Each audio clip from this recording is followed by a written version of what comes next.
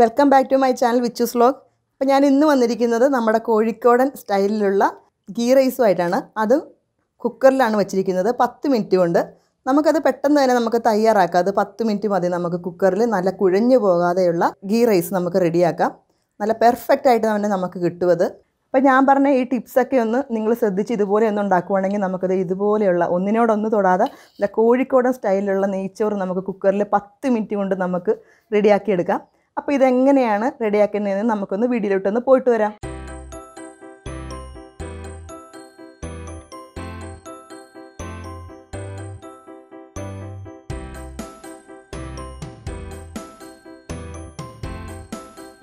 നെയ്ച്ചോറ് ഉണ്ടാക്കാനായിട്ട് നമുക്ക് ജീരക റൈസാണ് വേണ്ടത്. ഇതുപോലുള്ള ചെറിയ റൈസ്. അതായിരിക്കും നല്ല ടേസ്റ്റ് ആയിട്ടുള്ളത് നെയ്ച്ചോറിന്. നല്ലൊരു സ്മെല്ലുമാണ് ഇതുള്ളത്. അപ്പോൾ ഈ ഒരു കപ്പിന് നാല് കപ്പാണ് ഞാൻ എടുക്കുന്നത്. ഇനി അടുത്ത് നമുക്ക് ചെയ്യേണ്ടത് ഈ നാല് കപ്പ് അരി നമുക്ക് നല്ലപോലെ ഒന്ന് വാഷ് ചെയ്തിട്ട് ഒന്ന് സ്ട്രെയിൻ ചെയ്യാൻ വെക്കണം. നല്ലപോലെ വെള്ളം വാർന്ന ശേഷം മാത്രമേ നമുക്ക് കുക്ക് ചെയ്യാനായിട്ട് പറ്റത്തുള്ളൂ. അപ്പോൾ നെയ്ച്ചോറിന് വേണ്ട ഇൻഗ്രീഡിയൻസ് ഞാനൊരു അര കഷ്ണം ക്യാരറ്റ് ഞാൻ അരിഞ്ഞെടുത്തിട്ടുണ്ട് ചെറുതായിട്ട്. അതുപോലെ തന്നെ സവാള കുറച്ച് വലുപ്പത്തിൽ നമുക്ക് വഴറ്റി കൊടുക്കേണ്ടതാണ് നെയ്ച്ചോറ് വെക്കുമ്പം.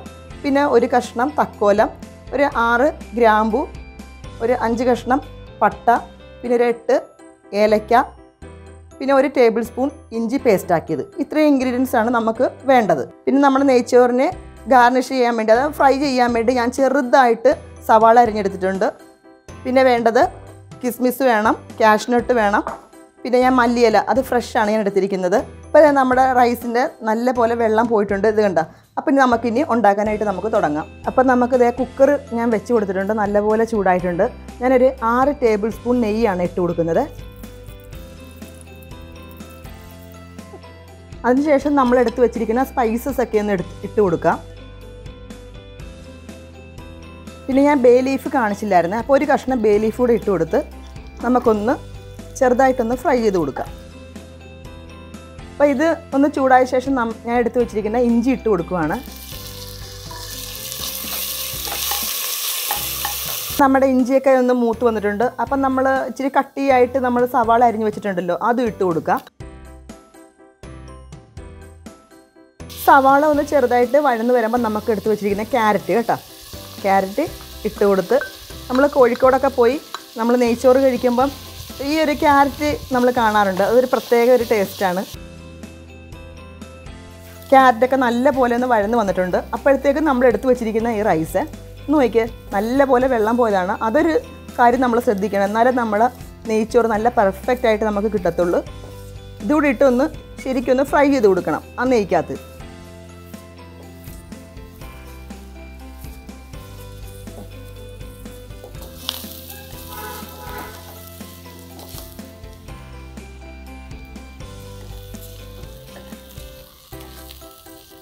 അപ്പോൾ ഇതൊരു കളർ ചേഞ്ച് ആകുന്നവരെ നമ്മൾ ഈ നെയ്യിലൊന്ന് ശരിക്കൊന്ന് ഫ്രൈ ചെയ്ത് കൊടുക്കണം ഈ റൈസ്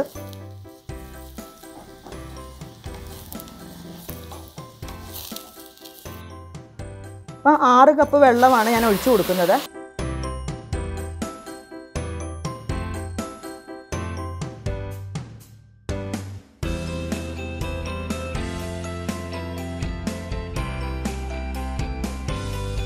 ഇപ്പോൾ വെള്ളം കൂടെ ഒഴിച്ച് എല്ലാം ഒന്ന് മിക്സ് ചെയ്യണേ. ഉപ്പ് പോരെങ്കിൽ നമ്മൾ ഉപ്പ് നോക്കിയിട്ട് ഉപ്പ് കൂടെ ആഡ് ചെയ്ത് ഞാനൊരു ഹാഫ് ലൈം എടുത്ത് വെച്ചിട്ടുണ്ട്. അതിന്റെ സീഡൊക്കെ കഴിഞ്ഞ്. അപ്പോൾ ഞാൻ അതൊന്ന് പിഴിഞ്ഞു കൊടുക്കുവാണ്. അതിനുശേഷം നമുക്കത് ക്ലോസ് ചെയ്യാം. ഒരു രണ്ട് വിസിൽ മതി കേട്ടോ. രണ്ട് വിസിലാകുമ്പോഴും തന്നെ നമുക്കിത് ഫ്ലെയിം ഓഫ് ചെയ്യണം. അപ്പോൾ രണ്ട് വിസിലടിച്ച് ഞാൻ ഫ്ലെയിം ഓഫ് ചെയ്ത് അപ്പോൾ എല്ലാം തണുത്തിട്ടുണ്ട്. നമുക്ക് നോക്കാം. ഓപ്പൺ ചെയ്ത്. നോക്കിയേ വെള്ളമൊക്കെ നല്ല പോലെ കറക്റ്റായിരുന്നു അപ്പോൾ ആ അളവിൽ വെള്ളമൊക്കെ നിങ്ങളും ചേർത്താൽ മതി. നോക്കിയേ നല്ല സെറ്റപ്പ് ആയിട്ടുണ്ട്. ഒന്നിനോടൊന്ന് തൊടാതെ നമുക്ക് നെയ്ച്ചോറ് കിട്ടിയിട്ടുണ്ട്. നോക്കിയേ. ഉണ്ടോ? അപ്പം നമുക്ക് പെട്ടെന്ന് തന്നെ ഇങ്ങനെ വെക്കാം. അപ്പോൾ വെള്ളവും പിന്നെ ആ റൈസ് ഒന്ന് ഫ്രൈ ചെയ്യുന്ന അതൊക്കെ ഒന്ന് ഒക്കെ ടിപ്സാണ് അതൊക്കെ ഒന്ന് ശ്രദ്ധിച്ചാൽ മതി. നമുക്ക് നോക്കിയാൽ നല്ല പെർഫെക്റ്റ് ആയിട്ടുള്ള റൈസ് നമുക്ക് കിട്ടിയിട്ടുണ്ട്. നോക്കിയാൽ ഇപ്പം നമ്മുടെ റൈസൊക്കെ കറക്റ്റ് പരുവത്തിന് വെന്തിട്ടുണ്ടല്ലോ. അപ്പോൾ ഇനി നമുക്ക് ലാസ്റ്റ് ചെയ്യേണ്ടത് പൈനാപ്പിൾ എസൻസ് എടുത്തിട്ടുണ്ട്. അല്ലെങ്കിൽ ചെറിയ പൈനാപ്പിൾ കട്ട് ചെയ്ത് ഇട്ട് കൊടുത്താലും മതി. അതുകൂടെ ഒന്ന് ഒരു അര ടീസ്പൂണാണ് വേണ്ടത് കേട്ടോ. അതുകൂടെ ഒന്ന് ഇട്ടിട്ട് നമുക്ക് ഫോയിൽ പേപ്പർ കൊണ്ട് ഒന്ന് കവർ ചെയ്ത് കൊടുക്കണം. അപ്പോൾ ഞാൻ ദേ ഫോയിൽ പേപ്പർ കവർ ചെയ്തൊന്ന് കൊടുക്കുവാണ്. കവർ ചെയ്ത് കൊടുത്ത് നമുക്ക് ഇതിന്റെ ടോപ്പ് വെയിറ്റ് ചെയ്യാൻ എടുത്ത് മാറ്റിയിട്ടുണ്ട്. അതൊന്ന് ഇട്ട് കൊടുത്തിട്ട് ചെറിയ ഫ്ലെയിമിൽ നമുക്കൊരു രണ്ട് മിനിറ്റ് കൂടെ നമുക്കൊന്ന് വെക്കാം. അപ്പോൾ ഗാർണിഷ് ചെയ്യാൻ വേണ്ടി നമുക്ക് സവാള ഒന്ന് ഫ്രൈ ചെയ്തെടുക്കാതെ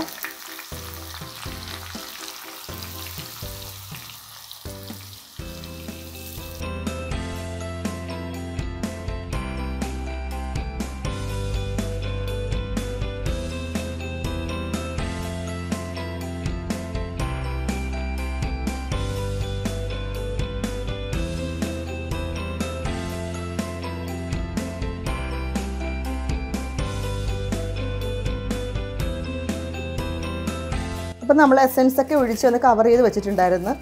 ഇപ്പോൾ ഏകദേശം അതിന്റെ എയറൊക്കെ പോയി തണുത്തിട്ടുണ്ട്. നമുക്ക് നോക്കാം. ഇപ്പം നല്ല എസെൻസ് ഒക്കെ പിടിച്ച് നല്ല പോലെ നല്ല സ്മെല്ല് വരുന്നുണ്ട്.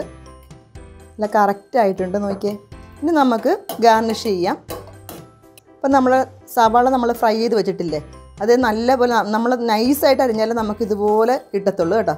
അപ്പോൾ അത് നമുക്ക് വിതറി കൊടുക്കാം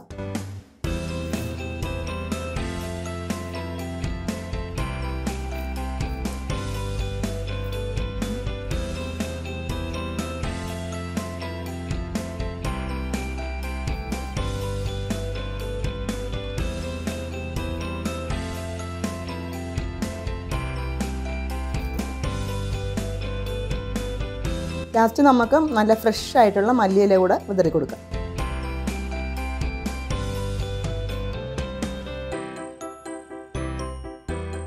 ഇപ്പം നമ്മുടെ കോഴിക്കോട് പത്ത് മിനിറ്റ് കൊണ്ട് ഉണ്ടാക്കിയ കുക്കറിൽ ഉണ്ടാക്കിയ ഗീ റൈസ് റെഡി ആയിട്ടുണ്ട്. അപ്പോൾ നമ്മുടെ കുഴഞ്ഞു പോകാതെ നല്ല പെർഫെക്റ്റ് ആയിട്ട് ഗീ റൈസ് നമുക്ക് കിട്ടിയിട്ടുണ്ട്. നമുക്കിത് സർവ് ചെയ്യാം. അപ്പോൾ ഈ വീഡിയോ കണ്ടിട്ട് ഇതുപോലെയൊക്കെ ഒന്ന് ഉണ്ടാക്കി നോക്കണം. നോക്കിയേ. അപ്പം ഞാനിത് സെർവ് ചെയ്യുന്നത് കോഴി പൊരിച്ചതുമായിട്ടാണ്.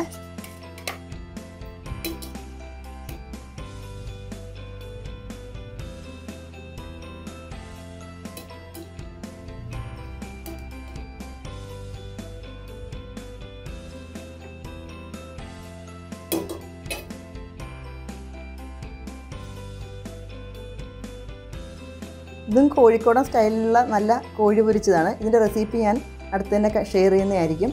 അപ്പോൾ നല്ല ടേസ്റ്റാണിത് പെർഫെക്റ്റ് ആയിട്ട് തന്നെ നമുക്ക് ഞാൻ പറയുവാണ് ആ ടിപ്സൊക്കെ ഉപയോഗിക്കുവാണെങ്കിൽ നമുക്ക് കൊഴിഞ്ഞു പോകാതെ ഇതുപോലെ തന്നെ കിട്ടും. അപ്പോൾ ഈ വീഡിയോ ഇഷ്ടപ്പെട്ടെങ്കിൽ ലൈക്ക് ചെയ്യുക ഷെയർ ചെയ്യുക സബ്സ്ക്രൈബ് ചെയ്യുക. താങ്ക്